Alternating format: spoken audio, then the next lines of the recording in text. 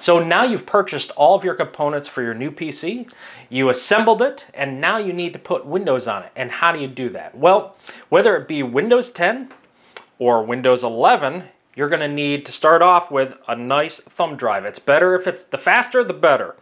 And uh, but I'm going to show you how to download and put on here the Windows Media Creation Tool. This is going to allow you to uh, start installing Windows and there's a step-by-step -step on how to install Windows, but I'm going to show you how to get it on the thumb drive for this video, so don't go anywhere.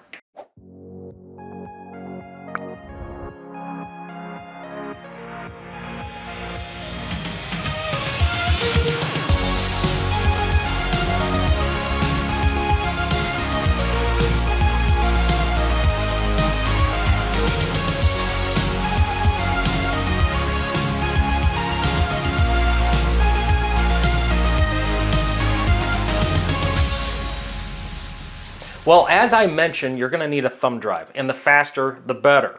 And the faster, the better is because when you're installing Windows, the files can be read a lot quicker and get it installed on your drive that much faster. Now, if you're dealing with a mechanical hard drive, putting Windows on that, it's not going to go that much faster. But if you have some M.2s in your computer, uh, either SATA or NVMe, it's going to go a lot faster if you have one of these guys. Now, this is by Samsung. This is the Extreme Pro. You can get these. I don't know if they sell them in 64 gigabyte anymore, but you can get them in 128, 256, and so on.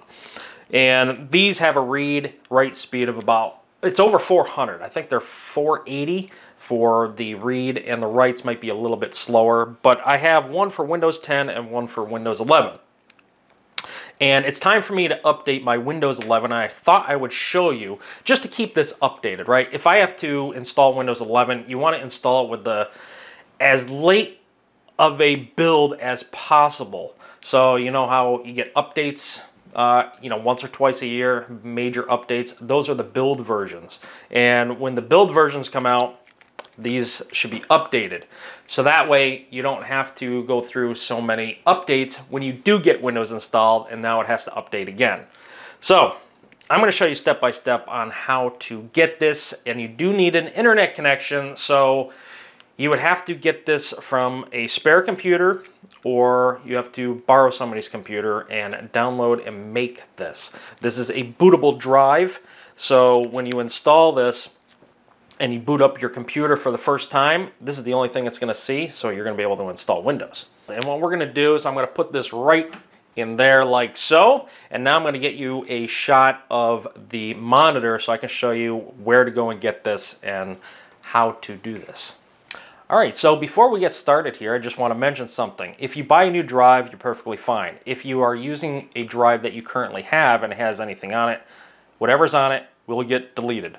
So just make sure that you don't have anything on it or you transfer everything off of it to something else.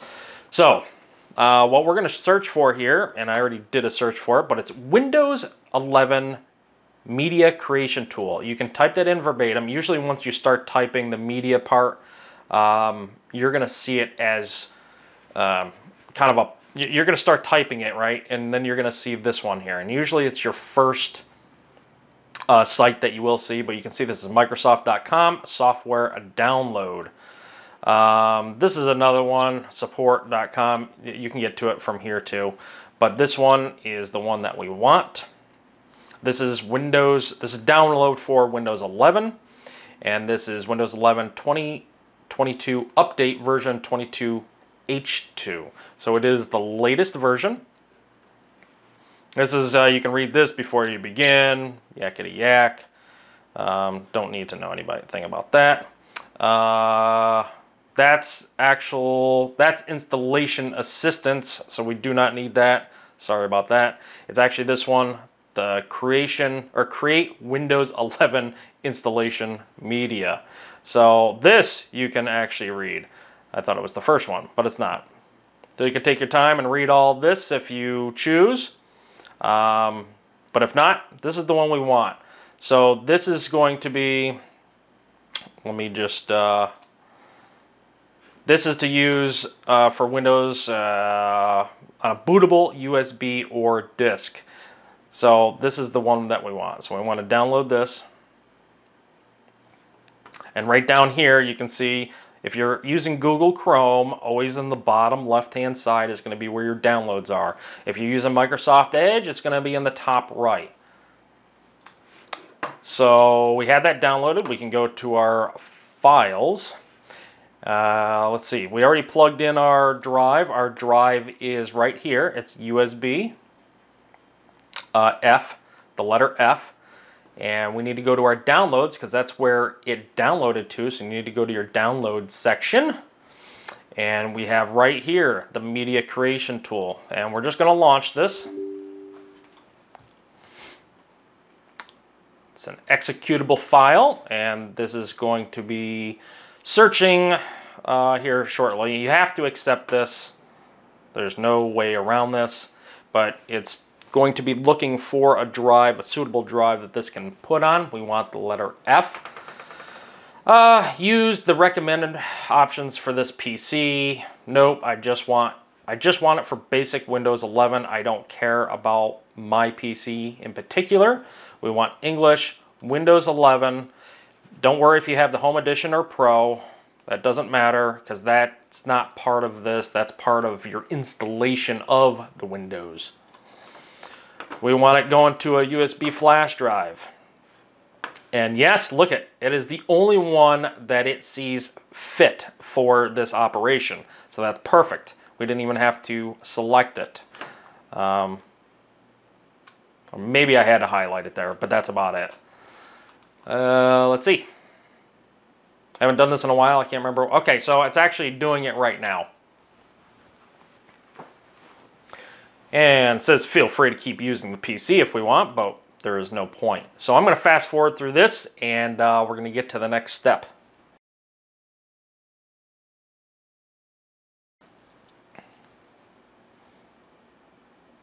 All right, so we just finished there.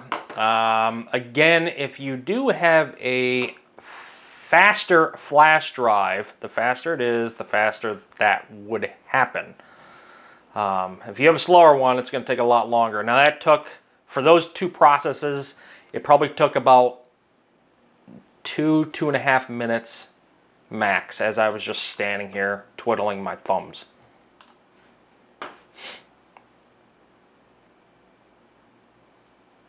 And that's it. So now if we go to our PC again, this is going to be the latest. You can see, all right, you can see the date that I'm doing it.